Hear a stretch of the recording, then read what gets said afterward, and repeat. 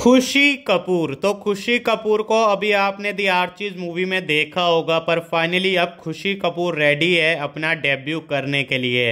Yes debut करने का मतलब है अपने थिएटर डेब्यू के लिए फाइनली अब खुशी कपूर रेडी है। तो खुशी कपूर की जो दी आर्चीज मूवी है, वो ऑलरेडी नेटफ्लिक्स पे रिलीज़ हो चुकी है और खुशी कपूर की जो अपकमिंग मूवी है, उससे अपडेट निकल के आ गया है। और बात कर ले तो खुशी कपूर के डेब्यू के साथ हमें देखने को मिलने वाला है इब्राहिम अली खान का भी डेब्यू।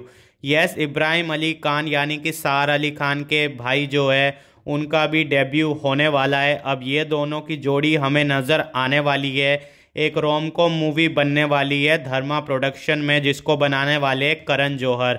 करण जौहर के अंडर ये मूवी बनेगी एक रोम कॉम मूवी हमें देखने को मिलने वाली है। Khushi Kapoor as a female lead और Ibrahim Ali Khan as a male lead अब देखते हैं कि इन दोनों की ये जो मूवी है, ये थिएटर में रिलीज़ होएगी। अभी तक तो यही रिपोर्ट से आगे जाके कहीं कोई चेंज ना हो जाए इसमें।